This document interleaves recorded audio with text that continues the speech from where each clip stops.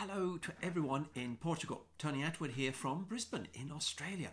Now, I've got an email that lets me know that my book, Ask Dr. Tony, which was originally published in English, is now available in Portuguese from the 12th of November.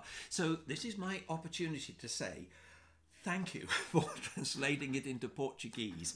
The book was uh, a joint program with Craig Evans, and we would record the answers to questions from people all over the world. And these are now in a book, and they cover aspects such as anxiety, self esteem, meltdowns, depression, uh, keeping friends, uh, keeping a job, disclosing the diagnosis, bullying, being diagnosed, all sorts of very important topics, very interesting questions, and providing some answers. Now, Craig and I are still continuing Ask Dr. Tony. In fact, there'll be another one probably coming up before Christmas.